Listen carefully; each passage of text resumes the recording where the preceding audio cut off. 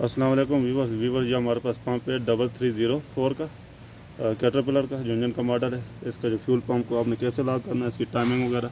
सबसे पहले आपने एक नंबर को और चार नंबर को टॉप पे लेकर आना है पिस्टन को।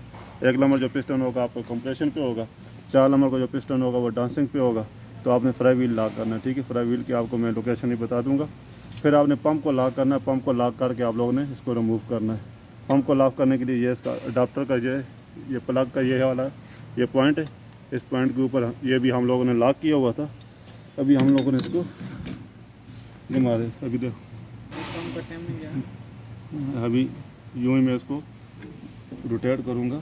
जब ये टाइमिंग पोजीशन पे जाएगा, ये राड नीचे की तरफ़ मूव करेगा। अभी ये पंप हमारे इस जगह पे लॉक हो गया। ये एक नंबर जो है, ये फायरिंग पोजीशन पे। इस जगह पे आप लोगों ने लॉक करके पंप को रिमूव करना है। ठीक है व्यूवर्स ओके अल्लाह हाफिज़।